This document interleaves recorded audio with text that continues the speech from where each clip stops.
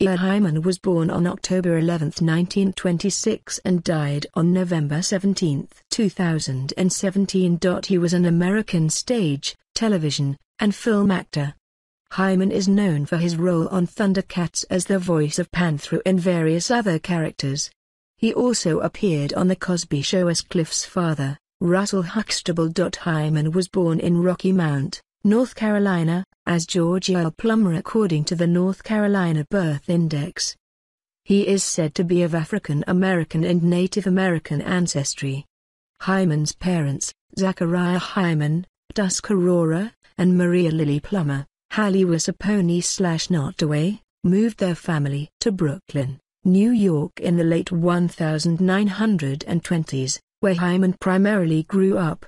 Hyman became interested in acting after seeing a production of Norwegian playwright Henrik Ibsen's Ghosts.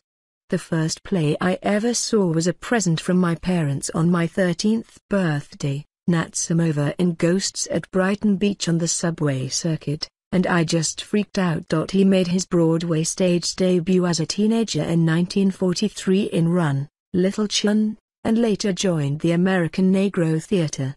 The following year, Hyman began a two-year run playing the role of Rudolph on Broadway in Anna Lucasta, starring Hilda Simms in the title role.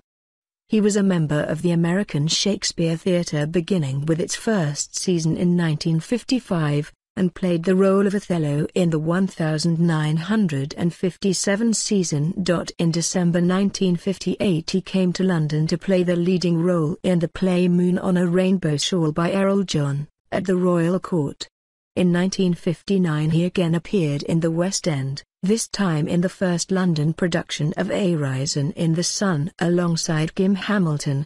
The show ran at the Adelphi Theatre and was directed again by Lloyd Richards. A life member of the Actors Studio, Hyman appeared throughout his career in productions in both the United States and Norway, where he also owned a home on Norway's west coast and an apartment in Oslo.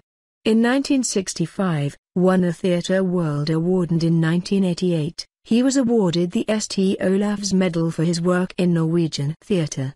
In addition to his stage work, Hyman appeared in various television and film roles including adaptations of Macbeth, 1968, Julius Caesar, 1979, and Coriolanus, 1979, and voiced Panthro on the animated television series Thundercats, 1985-1990.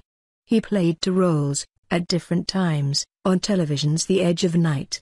One of his most well-known roles, that of Russell Huxtable in The Cosby Show, earned him an Emmy Award nomination in 1986. He played the father of lead character Cliff Huxtable, played by actor Bill Cosby, Despite only being 11 years older than him. He was the first cousin once removed of singer Phyllis Hyman. Hyman died on November 17, 2017.